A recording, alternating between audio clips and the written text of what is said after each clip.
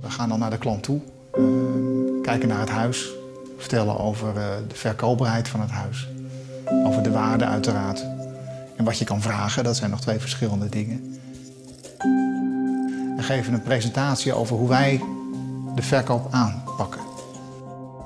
Inmiddels kun je huizen virtueel aan alle kanten bekijken. En dat presenteren we ook uiteraard voor onze klanten. We gaan zo ver als dat we kunnen.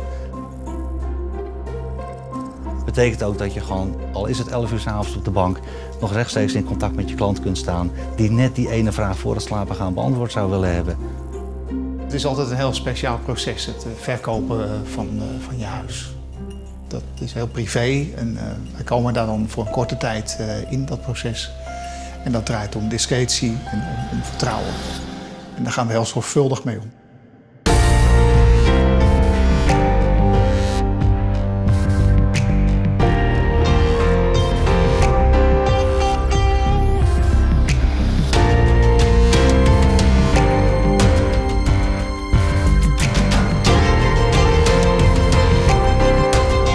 Vanaf de eerste kennismaking tot met de overdracht en daarna de best van Stavermakelaars.